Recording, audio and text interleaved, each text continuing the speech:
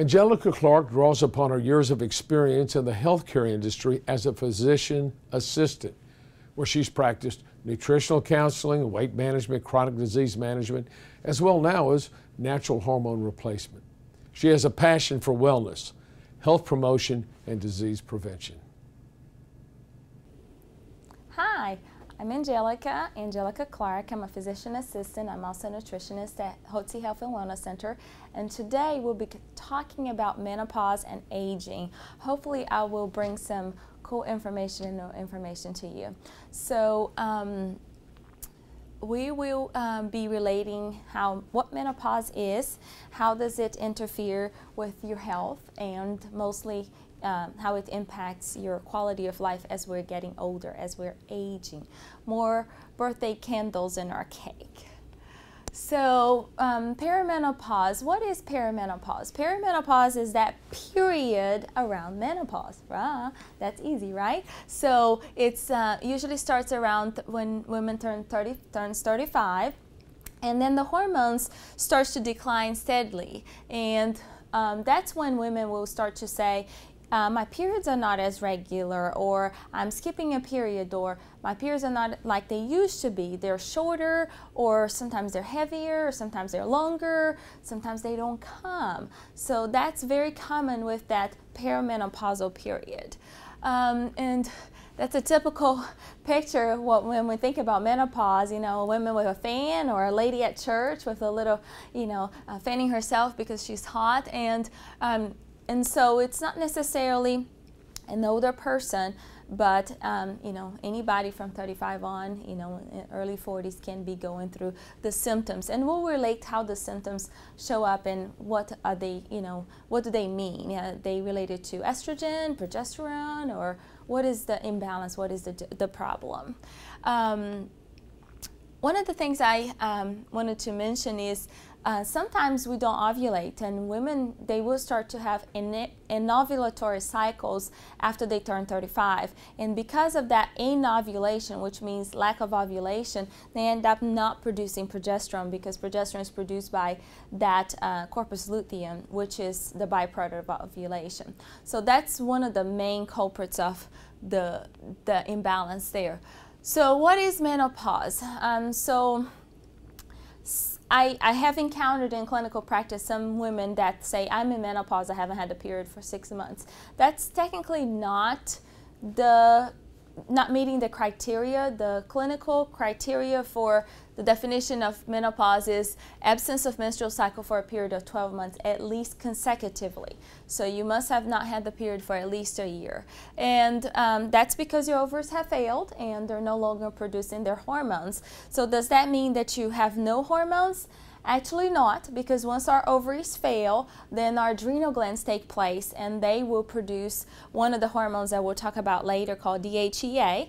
And DHEA will be used to produce the other hormones. And of course, let's not forget our fat cells are not just sitting there. They also produce hormones. Um, so, um, in, in the, especially estrogen. Um, causes of menopause. Unfortunately, it's inevitable. It's going to happen. Now, not every woman will experience symptoms of menopause, um, so that's that's a good thing. But if women do experience symptoms, I recommend that they get the quality of their lives back by using bioidentical hormone replacement. So, um, estrogen and progesterone levels drop, and but estrogen is the hormone that will cause women to go to a clinical setting and say, I need help. I'm, I'm suffering from menopause. So they will come in and they will be either ir irritable, weepy, um, they will be hot, and so they will have all these symptoms that we'll, uh, we'll be addressing and discussing with them. So that's what causes women usually to go to the clinical setting is to seek help is when they have estrogen um, decline. However, um, like I said earlier, you know, our fat cells do produce um, some hormones, which is estrogen. So um, we still have about 40% of our levels of estrogen um, after menopause. Progesterone declines really, really faster, much faster than estrogen. Progesterone, by the time you're in your menopause, you produce 1 120th of your progesterone levels that you did when you were in your 20s. So it's a huge drop, really, really important. And women produce testosterone too. Um, it's, you know, testosterone is known as a male hormone, but it's actually um, produced by the ovaries. And of course, you know, once the ovaries are no longer working because we're going through menopause, then you end up seeing that there is a decline in this, you know, the things that related to testosterone, which is one of them is libido. Uh, surgical menopause. What is surgical menopause? So um, often when we encounter women, that will say, I don't have my private parts and uh, had my uterus removed because I was having heavy bleeding or I was having fibroids or I was having pain or in cancer and some other things and they end up having their either their uterus removed or their uterus and their ovaries and of course the fallopian tubes removed.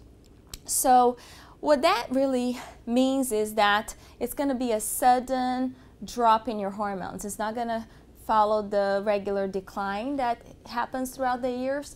So um, that sudden decline will make women feel more miserable and faster. Um, if you have left your, if you have had your ovaries in place, the, the surgeon left the ovaries in place, in about two years, even though they're still there, they're going to go out of commission. And the reason being is because when you remove the uterus and the fallopian tubes, there is some decreased blood flow to the ovaries. So they will stop working anyway, and that's when women will even notice more symptoms. And then because it's not too much sooner after their hysterectomy, they they may not make the relationship and think that it's from the ovaries, you know, um, failing. Looks of menopause. So what does a menopausal woman look looks like? Well, um, they may have a saggy skin or some wrinkles, more wrinkles. Um, they will have discolored skin, so it doesn't look like, you know, healthy skin like it used to before. And what happens is the skin turnover, the cells, they they change, and so um, the the healthier the plump cells, you know, they're in the surface of the skin, they end up not, you know, being as healthy and then will cause the drier, the rougher, the wrinkled uh, aspect of the skin. Um, a lot of times they have decreased um, discoloration, so they will have um, these weird coloration. One spot is darker than others, um, and that's because the there is a change with melanin. Melanin is what causes the coloring uh, turnover in our skin and dark spots. Um, the dark spots is actually um, going to make people, um, because of that melanin, have this uncomfortable looks and they will go to a dermatologist or they can come to Hotze Health and Wellness Center. We'll help them with some our skincare treatments that we have uh, to offer. Um, but it's, it's also going to make them more prone to having a sunburn. Uh, pimples. Pimples is another one. Um, who likes pimples? I don't like pimples, um, but you know, it's, uh, uh, I hear a lot of times my female guests will say, you know, I'm having, I'm, t- I'm a teenager again. I'm having all these pimples again, and it's on, you know, on the side of my face, you know, the back of my neck, and um, you know, my forehead, and that's a sign of an imbalance. And uh, and also because those um, those pore, pores get get clogged, and it's oftentimes related to an imbalance, again, hormone imbalance, and uh, most likely testosterone. Uh, easy bruising is another common, and uh, or thin skin. You know, women will also say my skin has got so thin, and that's because there is a decreased production of collagen, uh, and collagen is also related to hormone uh, imbalance. So that will make the skin not look as uh, pretty. Uh, weight gain is another one, and we'll talk more about hormones, how they impact the weight. Um, they can impact the the thyroid function and they make you retain fluid. So that's where you know the weight gain comes, and we'll talk more in depth about it in a little bit. Um, hair changes again. The thinning of the hair can be from um, decreased. Um, production of thyroid or utilization of thyroid hormones, and it can also be from um, um, testosterone um, too much testosterone or testosterone imbalance, um, you can have graying of your hair. And usually, you know, having hair, uh, gray hair can be caused by several things. Can be caused by deficiency of biotin, can be caused by uh, loss of melanin, and also there are some studies that show that we're going to talk about in a little bit that melatonin actually helps, uh, you know, keep your the color of your hair uh, stable. Uh, people will have more brittle hair, they'll have more facial hair. Again, that's from imbalance. And weakened bones, so we are at higher risk of having bone fractures. And the reason that happens is because estrogen uh, helps build bones, uh, actually helps prevent bone loss. Progesterone helps build bones. So because of that imbalance, we end up having problems with um, the utilization of uh, the breakdown of the, the, the bone cells and um, the the turnover is going to be decreased and then we end up having bone loss. Um, so there's some some common um, terms that is used for weakened bones is osteoporosis, which is a true bone loss. Um, osteopenia is when you have, you know, um, decreased uh, bone there, but it's not necessarily causing the pores or um, it's not as severe as osteoporosis. Osteoporosis is when your risk for fractures are much higher.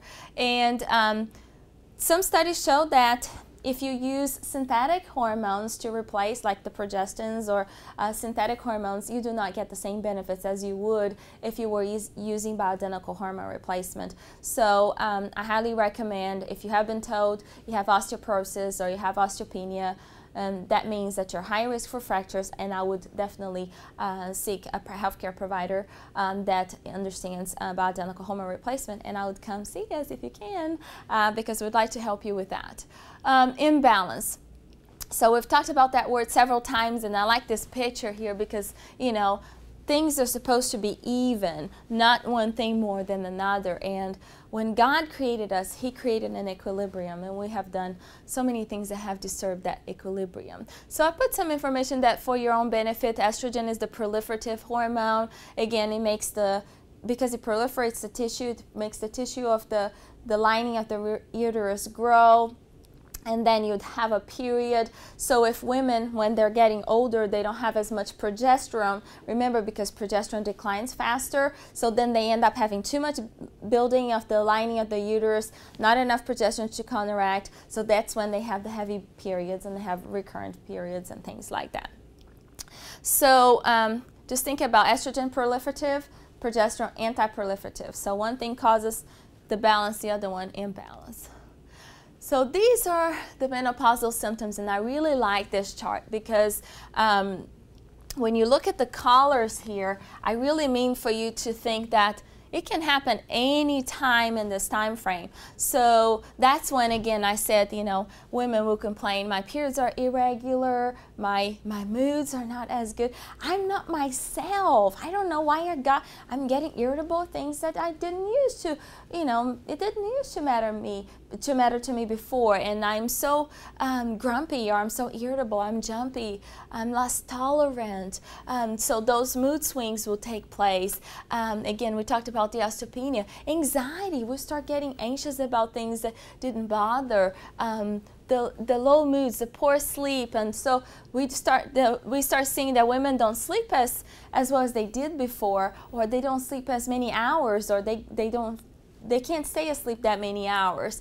And uh, we all think about, you know, grandma, grandpa, you know, they used to go to bed early and then they were up bright and early. And that has a lot to do with some of those hormone changes. Uh, low libido, so romantic inclinations decrease, decline. Um, they no longer have that desire or the interest in um, those things. Um, vaginal dryness, it's it's there and that can impact libido, discomfort, um, urinary incontinence, you laugh, you cough, oops, you got to go to bathroom, you got to go faster, you can't hold um, your, your bladder too longer, you can have bladder discomfort, they can, they can have bladder spasms because the, the muscle toning there is lost and we'll learn later that estrogen and testosterone has a huge impact on bladder and muscle tone. So uh, that's what's going to cause those symptoms. And then we have heart disease.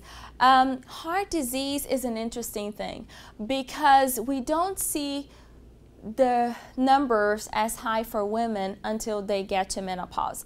And then so um, I actually did a talk about 10 years ago um, to a group of people um, at uh, Anthem Blue Cross and Blue Shield about wellness, and we were talking about cholesterol. And one of the topics I was presenting was how uh, women were protected uh, from having heart disease, um, you know, until menopause and after menopause, they take, they're the number ones that die from uh, heart disease. And at the time, you know, I was not a PA, I did not understand that quite well, but I was a nutritionist, so I was explaining, you know, data, you know, and now I, it clearly makes sense to me. It's because what happens is estrogen helps the vasodilatation of the blood vessels so they don't have those spasms that end up causing a heart attack.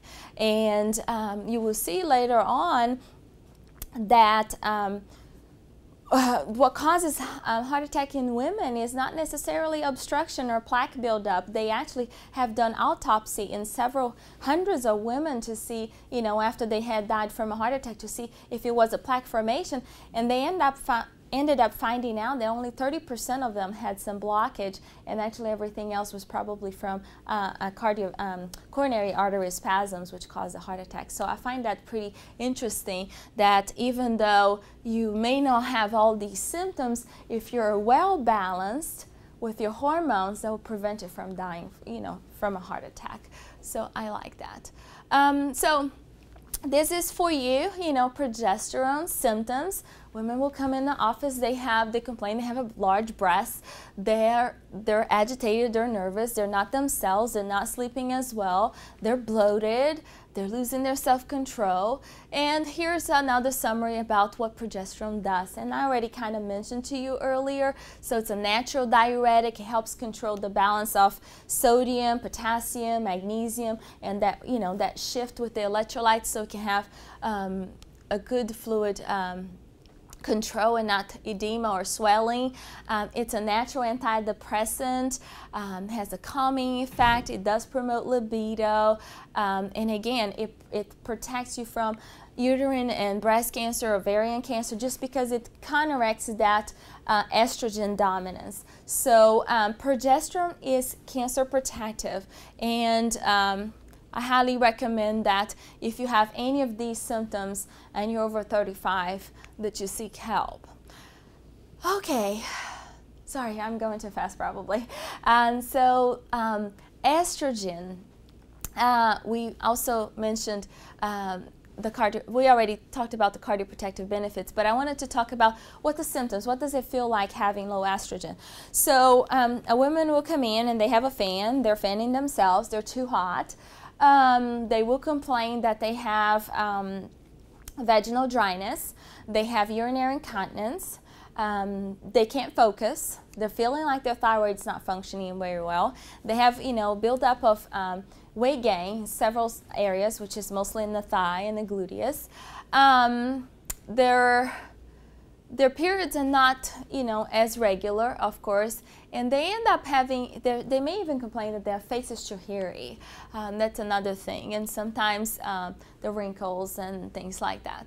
So again, estrogen is really important. DHEA, so Remember, I said when the ovaries fail, the adrenal glands come in. So when the adrenal glands come in, they come in through the production of DHEA, and that's that fancy name, dihydroepiandrosterone. I always have a hard time mentioning that name. So um, it's produced in men and women, and um, it's also known as the mother of hormones, just because what your body will do is will convert to the hormone with different pathways to meet the demand. For instance, if it needs to go to testosterone, you go to the testosterone route. If, it, if your body needs progesterone, DHEA will convert to progesterone route. If it needs estrogen, will go to the estrogen route. And if it needs cortisol, it will go to the cortisol route, which is the hormone that fights us, uh, helps us with stress and fight stress. It helps improve your immune function It protects against Alzheimer's and dementia. It's anti-cancer. It's anti-obesity, so it helps with weight loss. Um, and it also helps prevent the plaque formations and the buildup in the arteries.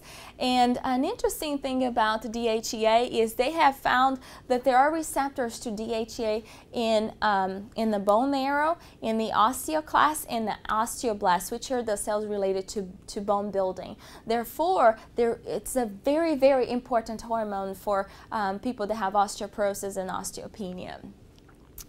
Um, testosterone. So we hear about, you know, testosterone or T. You know, testosterone is the hormone that's uh, related to male performance, but women also has testosterone, and they will have those symptoms that, like we talked about, the muscle tone and the belly fat. They're tired all the time. They, their romantic inclinations is decreased.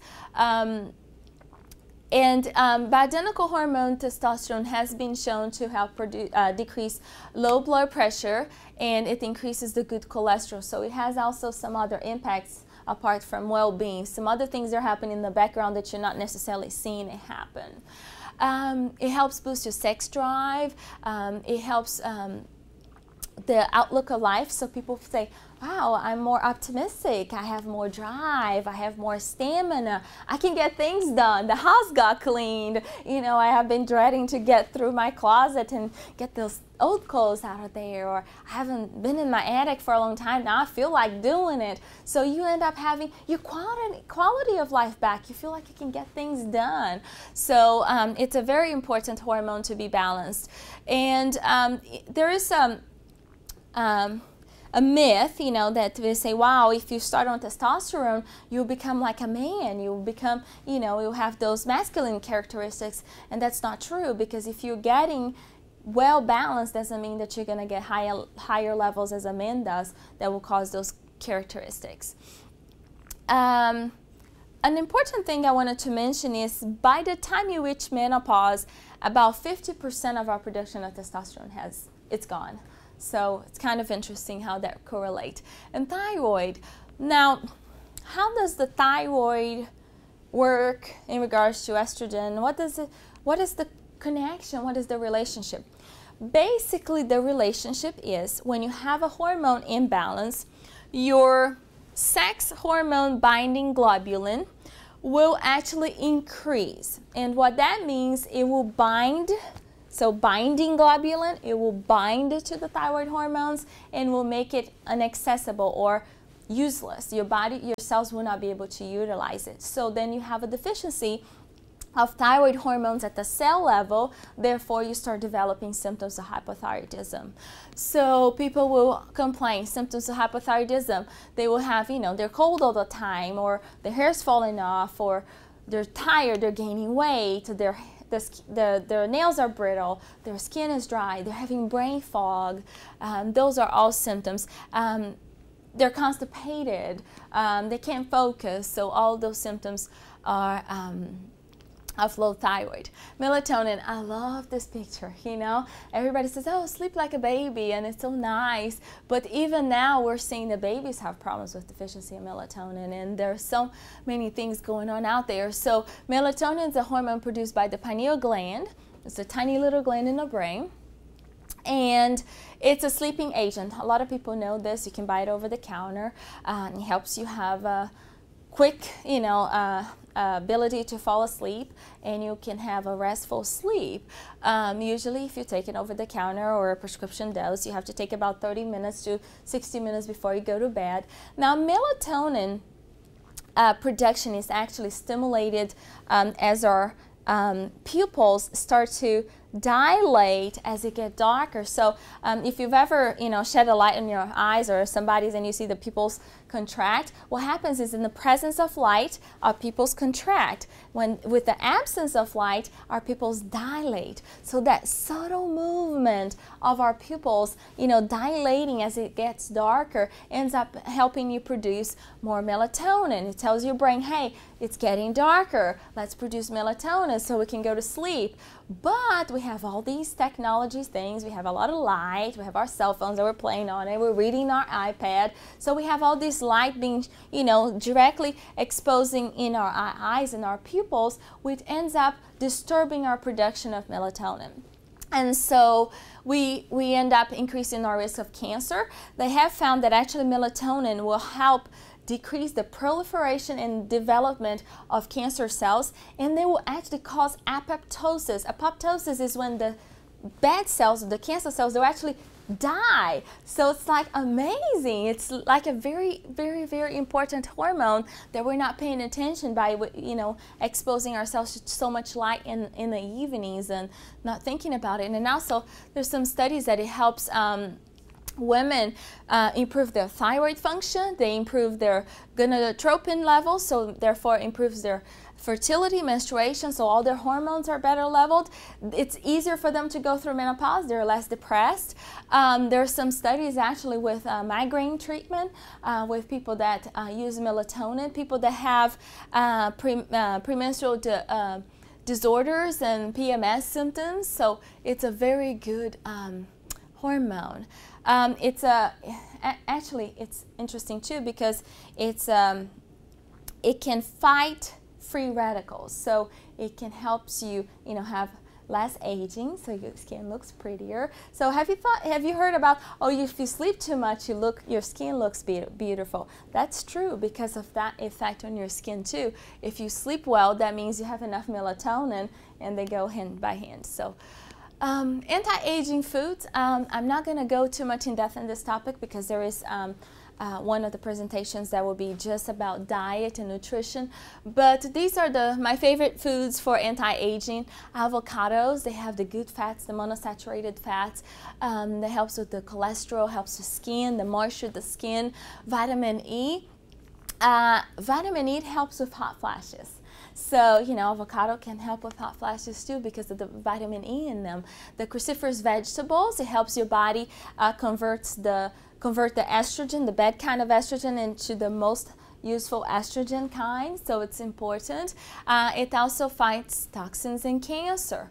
Garlic, there's there's a lot of, there are a lot of studies about garlic and so if you eat a clove of garlic a day raw or cooked it can actually uh, protect uh, against heart, uh, heart disease and cancer. And there's a study there for your information. Watermelon is good. It has a lot of vitamins. You know, the more colorful, the more nutritious the, the food is. So vitamin A, vitamin B, vitamin C has selenium that will help with your thyroid, helps has essential fatty acid that helps with your skin. It has zinc. Zinc helps counteract estrogen dominance. Um, vitamin E, which helps with hot flashes. So I mean, it's it's an amazing uh, fruit and it's you know summertime and you know there are a lot of good ones out there. It just makes me want to go to the store after here and go grab some.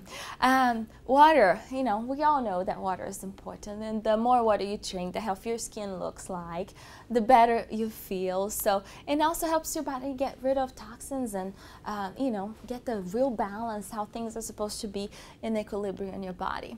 Um, growth hormone the growth hormone is um, well, no, it helps us grow. Um, so it impacts body composition, muscle strength, bone strength.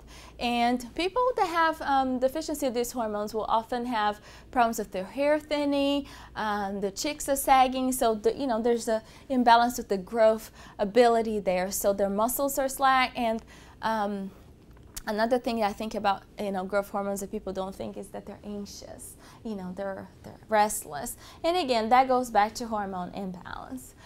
So I have some data and some studies here for you. Um, infertile women were followed for 14 to 34 years, and those that were deficient in progesterone had a five-fold greater incidence of having breast cancer, premenopausal breast cancer. So remember, I talked about perimenopausal around 35 and you start having the symptoms, but you're not going through the full change, your ovaries have not completely failed. Well, that is important. If you get symptoms, you should see somebody that understands well so we can get that imbalance corrected because there is a protective benefit in progesterone. The this one is um, the these authors found that actually progesterone during pregnancy and the bioidentical hormones do not increase the risk of breast cancer. And actually, when women are pregnant, they have decreased risk of developing breast cancer. And they went back and found out it's because of the progesterone is high during pregnancy. So again, progesterone is protective. Um, then there are several other studies there. I, I mentioned earlier the premenstrual dysphoric disorder. Um, you know, people that have problem with their moods throughout their cycle related to the hormones. Um, melatonin and weight gain, migraine and melatonin. Um, sorry, let me go a little bit slower so you can read. So just about melatonin there, about the migraine headaches. Um, they actually compared, this study compared melatonin with a medication called amitriptyline that's often used to help prevention of migraine headaches. And this, this, is, this was a very positive study. And um, I have another one here that, um, you know, women that took melatonin at bedtime had improved mood and reduction symptoms of depression and thyroid function. So it even impacts thyroid function. So if we sleep well, things are more balanced. Remember that. You know, when you have that to do list and all these things, sleep is important. And it's highly recommended you try to have seven hours of consecutive restful sleep. So if you can start turning off the lights in your house, um, you know, after dinner and maybe have, you know, lower, you know, or dim the light so you don't have as much light exposure. You know, put the cell phone down, read a real book or, you know, things like that. Instead of exposing your eyes to light, you'll be able to produce more melatonin and have a better sleep. Uh, ovarian cancer is um, an interesting thing out there. It's on the rise. Um, it's hard to be picked up on exams. There are not really specific tests unless you have an ultrasound. Um, it's not part of the routine um, evaluation, yearly workup with your gynecologist, you know, to have an ultrasound unless you're having symptoms or pain. And it's on the rise and it has been linked to the imbalance between progesterone and estrogen. So again, one more thing you can do. Um, now we will learn about menopause and balancing hormones with the diet so it's important, of course, to have a healthy lifestyle. Um, I'm not saying that everybody needs to be on hormones. I'm saying that everybody is that is suffering for hormone imbalance, and everybody that's you know having decreased quality of life. That's a sign of the imbalance, and they should seek help to see help address so you can take care of that imbalance and also prevent some of these illnesses that are secondary to the imbalance. And conclusion. Um, menopause and anti-aging so there are many anti-aging methods out there again preventing the imbalance is the best thing to do um, if you're having symptoms get in touch with us at www.hotzehwc.com. You can call us and schedule a complimentary consultation, and uh, we'll be able to go over your symptoms, what you're dealing with, uh, and we'll be able to tell you how we can help you and hopefully get your life back. Um, these are some references, um, some readings that I recommend. Of course, you know, Dr. Hotze's book. Um, if you have not read, you really need to read. Um, you can actually go to our website and we can give you um, complimentary copy. Um, and there are some other books there that I use for reference, and those are good, reputable authors that we suggest for you to read. And we can help you. And our phone number is 281 698 8698. That is our address. We're in Katy, Texas. And um, www.hotzehwc.com Com. I'm so glad you were able to take your time to be here with me today to learn about menopause and anti-aging. I hope I gave you some information to encourage you. Information is power. So I have I hope I have empowered you to make changes. So if you're suffering, know, having your life back or having some things that you you feel like you need to get that addressed, come see us, call us, we can help you. I hope you have a blessed day. Thank you.